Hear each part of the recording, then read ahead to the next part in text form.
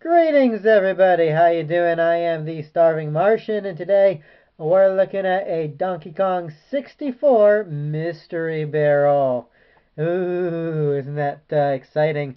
So this uh, barrel here was uh, put out for Donkey Kong 64 and if you don't believe me, just look at uh, the top of the barrel and that should remove any doubt.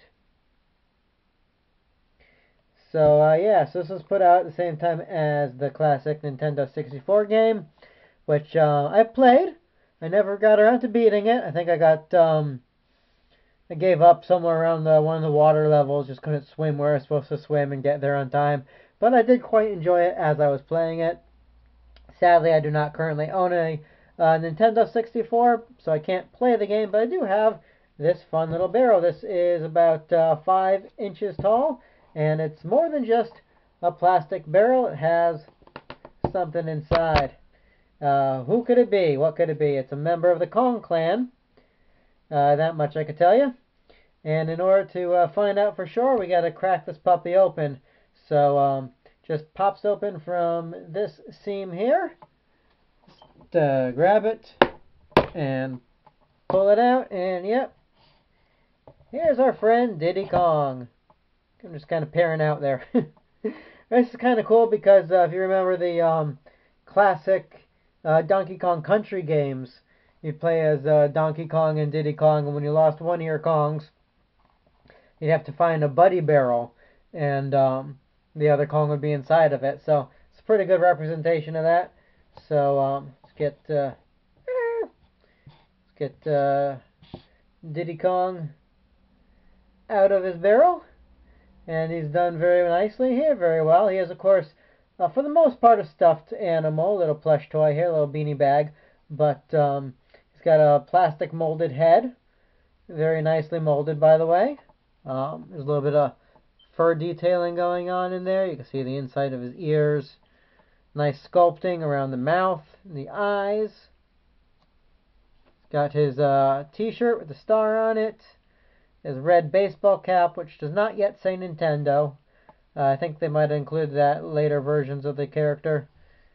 Sadly, he's missing his tag, but what are you going to do? Um, and yeah, aside from that, it's just a standard little plush figure. It's about three inches long, and um, he actually looks good. And he, and he also looks good with some of the other figures um, that are or beanie bags rather that came out at the time.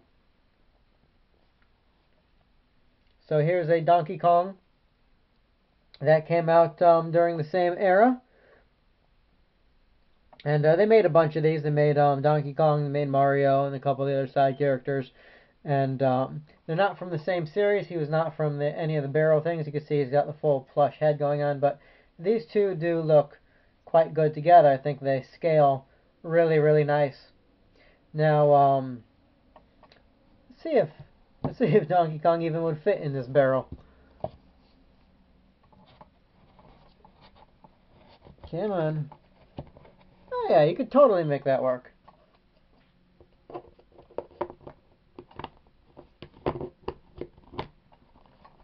And if you don't push it on all the way, he'll probably pop it right off. Let's see. Yeah. That's kind of fun. Do it again. No? Oh well. First time's a charm. So I don't know if they made any more of these. I don't know if uh, any other members of the Kong clan got their own uh, DK64 uh, mystery barrels or not. In fact, the way I acquired this guy, um, it's actually at a local uh, ice cream shop, believe it or not, where um, they had a whole bunch of teddy bears up on top of a um, a, a display like about a good four or so feet above head level. And um, this guy was just sitting there with the rest of the teddy bears. And uh, he didn't match them at all because he was he was a monkey and not a bear. And um, anyway, I just asked one day. I said, "Hey, is there is there any chance I could buy that uh, donkey or that Diddy Kong up there off of you guys?"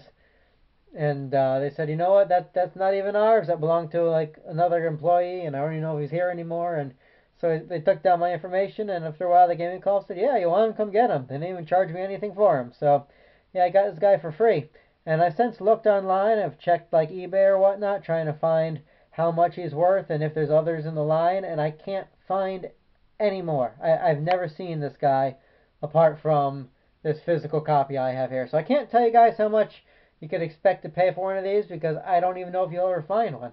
But um, I'm quite glad that I did. I don't know if this is like a promotional material or what, but um, but either way, I, uh, it's it's really nice to own, and just thought I'd go ahead and uh, show him off to you guys.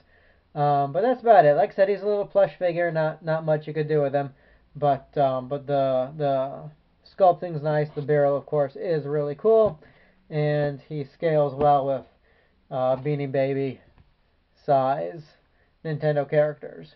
So there you have it. This has been The Starving Martian. Hope you guys enjoyed. We'll catch up with you next time with another review. Until then, as always, keep watching the skies. Have a good one, everyone. Thanks for watching.